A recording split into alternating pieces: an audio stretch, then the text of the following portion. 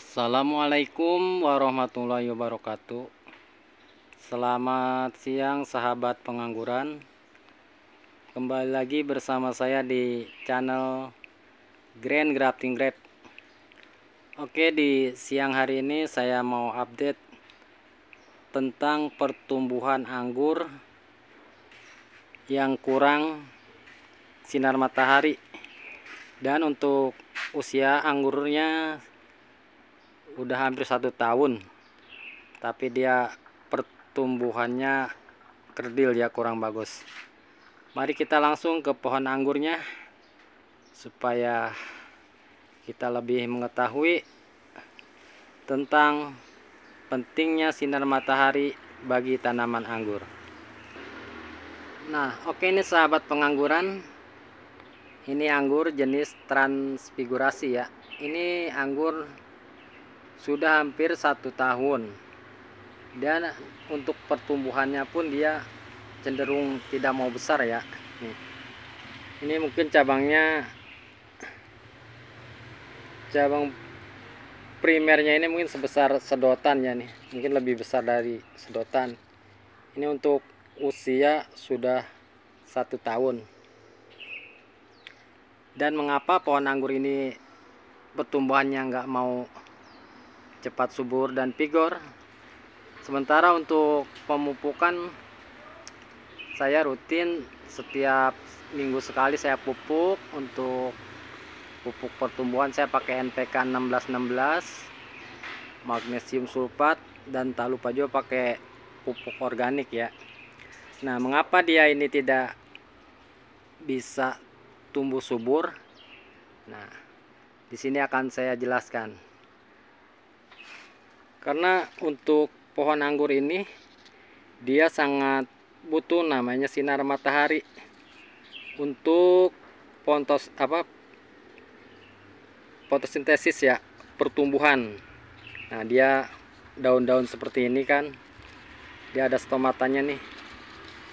Bila dia kurang sinar matahari untuk penyerapan nutrisi yang kita berikan sebanyak apa pun pertumbuhan tidak akan maksimal bila matahari kurang.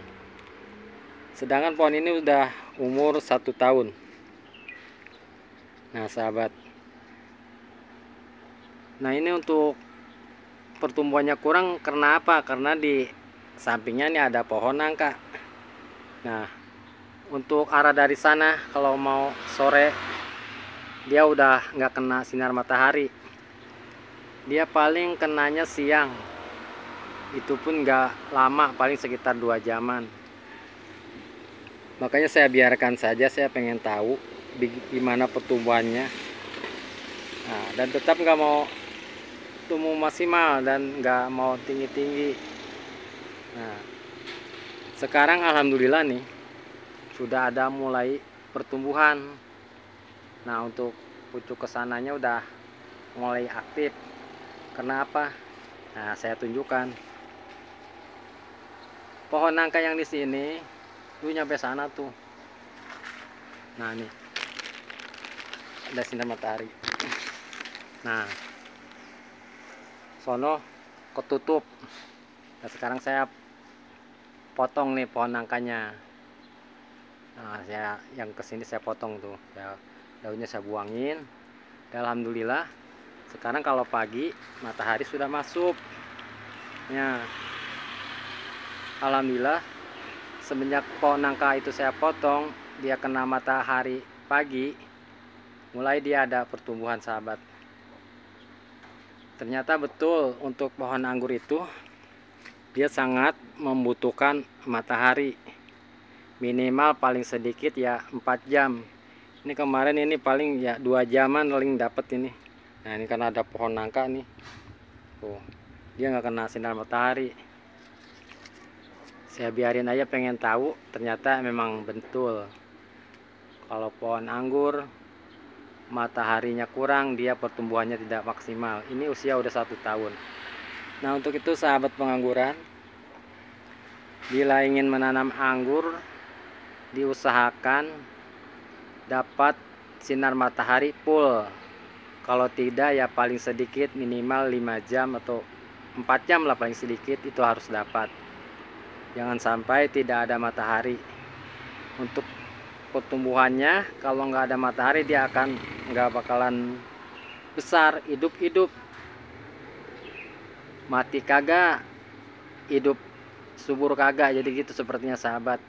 Nah setelah saya potong pohon nangkanya alhamdulillah dia udah mulai membanjang pohon apa ini cabang primernya nih.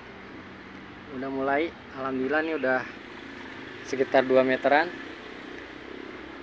udah mulai tumbuh. Ternyata betul pohon anggur itu sangat butuh yang namanya matahari. Oke demikian sahabat. Mungkin ini yang saya upload bermanfaat. Jangan lupa like, komen, dan subscribe di channel Gen Grafting ya sahabat karena saya masih pemula. Oke terima kasih. Wassalamualaikum warahmatullahi wabarakatuh